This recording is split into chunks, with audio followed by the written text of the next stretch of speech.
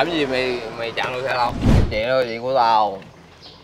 Dạ anh anh trai anh trai anh trai anh trai xỉn lắm mà anh trai đừng chạy xe dạ Sự việc do camera an ninh nhà người dân ghi lại. Lúc này có hai xe máy đang chạy cùng đường. Thì thanh niên điều khiển xe đỏ chặn đầu xe anh áo đen. mày làm gì vậy mày? Này mày làm gì mày mày chặn được xe không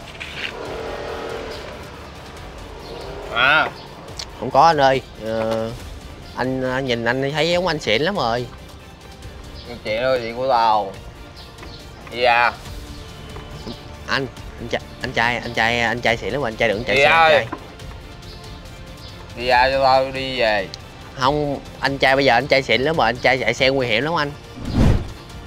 Anh trai. Anh trai anh trai. Anh trai anh trai Sau hồi lâu nói chuyện nam áo đỏ lục người nam thanh niên say xỉn tìm gì đó.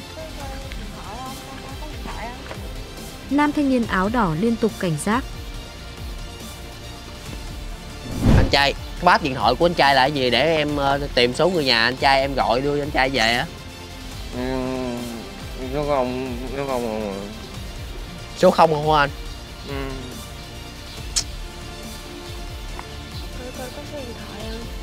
cho anh lưu tên Ê, nè nè nè, có gì vợ nè, coi anh anh gọi thử phải vợ ổng không? Rồi, rồi. vợ ổng đón. dạ hello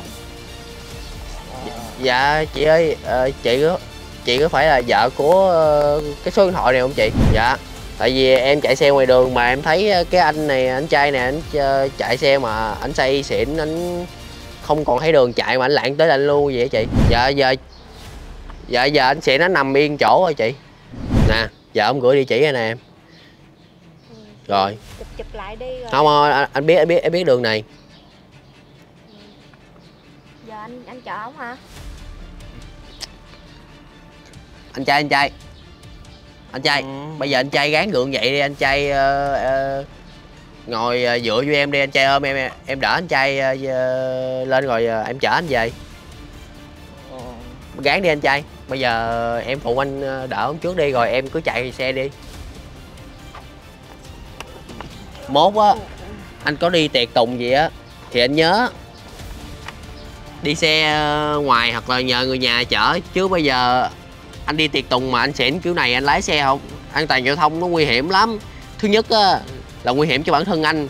Thứ hai rồi ờ, còn những người tham gia giao thông khác nữa anh trai nha anh trai bố anh trai ờ, uống ờ, đi tiệc đừng có đi xe nha anh